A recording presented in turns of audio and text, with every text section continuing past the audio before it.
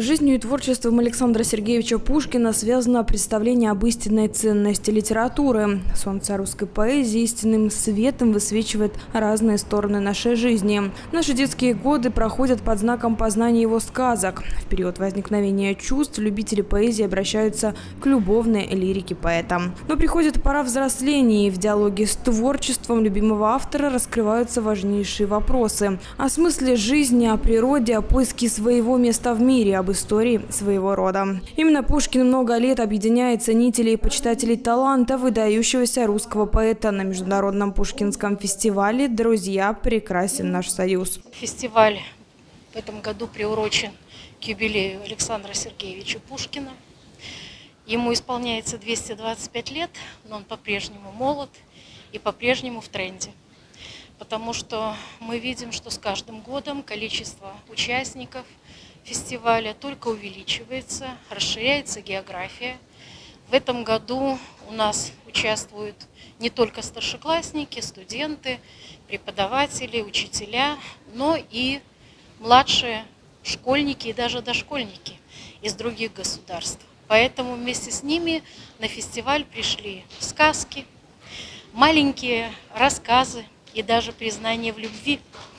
И это тоже конечно, украшает наш фестиваль. Мы заинтересованы у себя в университете а, в том, чтобы классика, а, которая и зарубежная, и русская, и белорусская, которая, э, которую ничто не способно заменить, она была воспринята современным поколением и а, послужила таким фундаментом, основой для воспитания настоящей личности, патриота, гражданина. Это существенный, э, ну так скажем, инструмент для достижения вот этих целей.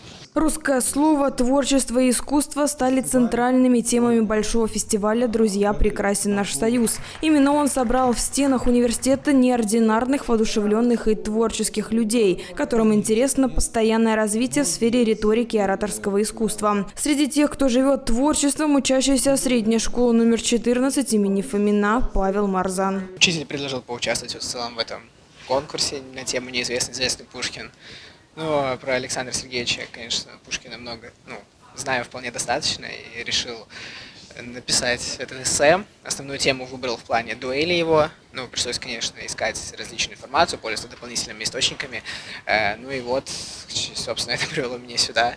Э, конкретно просто чем привлекает литература, она просто сама по себе интересная, познавательная и э, помогает расширить кругозор, эм, просто лучше мыслить, говорить красивее. Для меня участие в этом конкурсе э, дает возможность э, доказать э, саму себе в первую очередь, как то, что я могу написать эссе, показать свои знания остальным в том числе. Я изображал а, Пушкина ну и его там а, картину получается.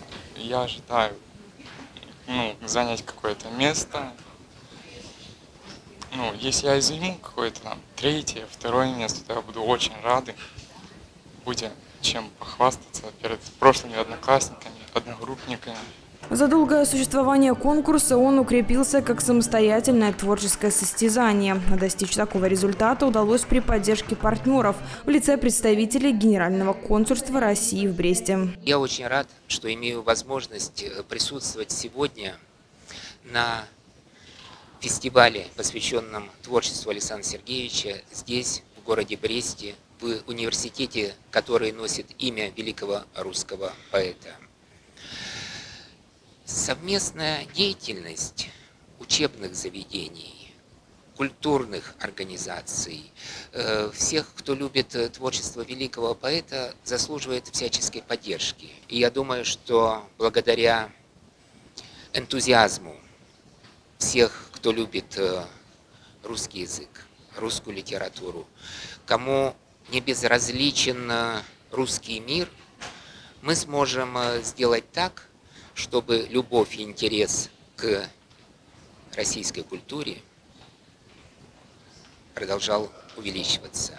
Открытые конкурсы чтецов, эссе, конкурс плакатов, испытания театрально-сценического плана. Всем этим запомнился 14-й Пушкинский фестиваль его участникам, которые на закрытии творческого мероприятия получили заслуженные грамоты и благодарности.